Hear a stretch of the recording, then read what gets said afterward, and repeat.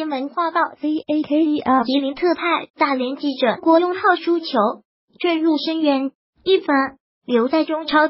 今天下午三点，二零一八赛季收官，长春亚泰将在客场对阵大连一方。这场东北德比将直接决定两队命运，赢球球队保级，输球球队大概率降级。而亚泰只要获得一分，就能确保中超资格。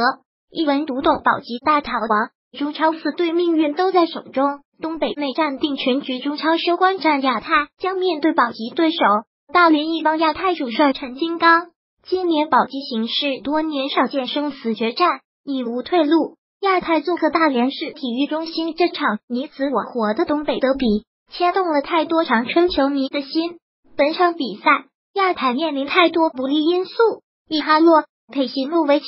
科朝和于润四大主力缺阵，尤其是已经攻入二十一球的伊帕洛，他的伤退让球队少了一个摧城波寨的尖刀。现在留给主帅陈金刚排兵布阵的余地已经不多。好在谭龙最近状态不错。对于目前的形势，陈金刚表示，大家都十分清楚了，这场比赛会非常关键，也会非常激烈。今年中超能打到现在这个份上。是多年没有的。仔细回顾比赛，我们的判断可能也出了一些问题。现在没有办法，各个队最后一轮都要把握好。我们亚太一定会全力以赴，克服各种困难，取得想要的结果。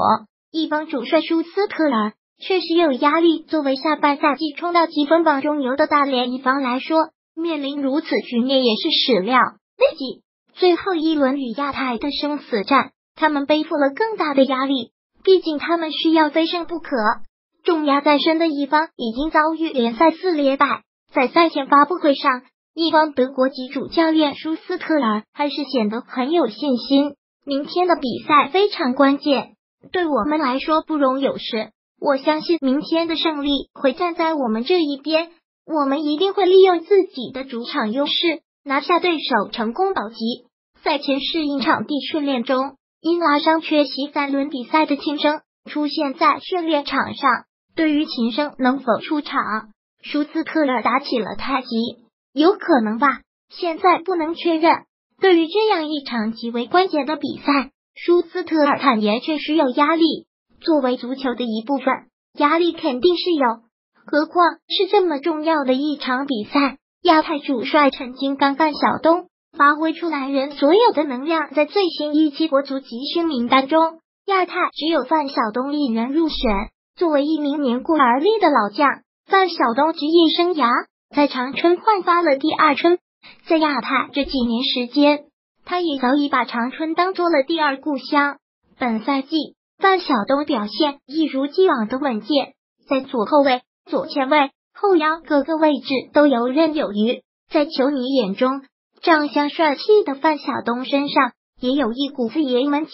对一方生死战前，范晓东代表球员表达了必胜信念。他说：“这场比赛的形式就不用多说了，大家也都清楚。这场比赛关乎到长春这座城市，还有每个球员胸前的荣誉。明天我们要把一个男人所有的能量发挥出来，打好这一场战斗。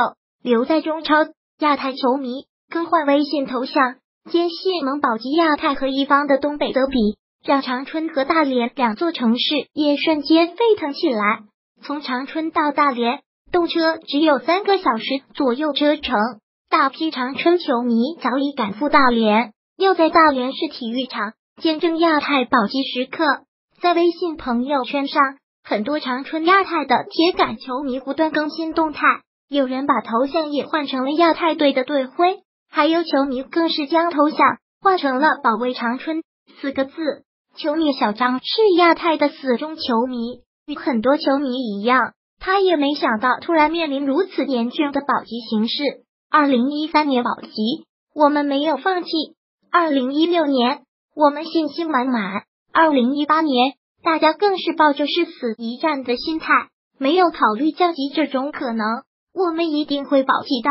央视央视聚焦两大保级战，能够解开最后一个降级悬念的比赛，不仅有长春亚泰与大连一方的东北德比，还有广州恒大与天津泰达的南北较量，更有重庆斯威与贵州恒丰的西南德比。因此，广州恒大和贵州恒丰的态度成了左右局势的关键因素。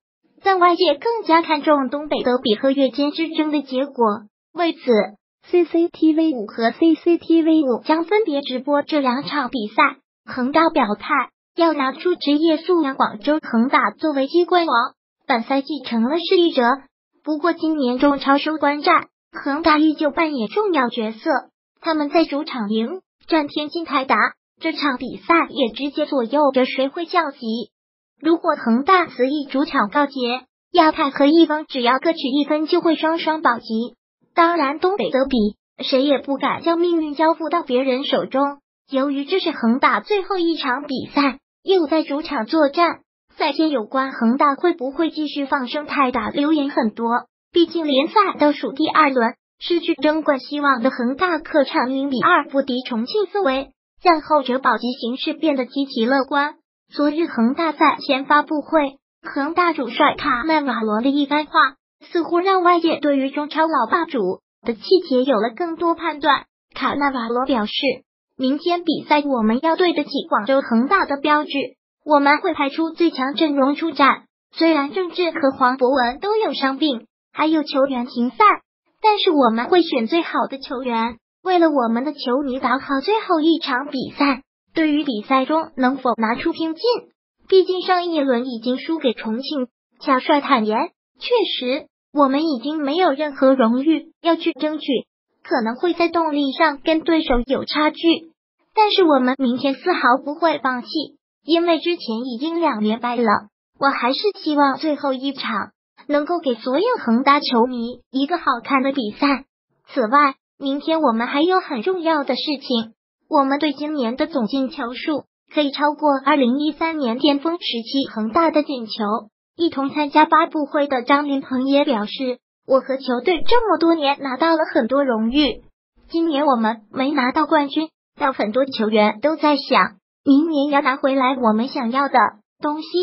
主教练也告诉我们，作为男人，作为职业球员，要拿出职业素养，用实际行动来对得起买球票来看球。